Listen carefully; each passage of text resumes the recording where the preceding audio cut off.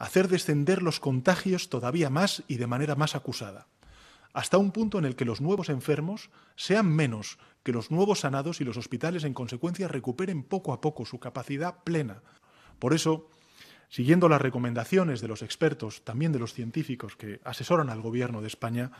les anuncio que el Consejo de Ministros del próximo martes solicitará de nuevo la autorización del Congreso de los Diputados para prorrogar por segunda vez el estado de alarma el 12 de abril hasta las 24 horas del sábado 25 de abril.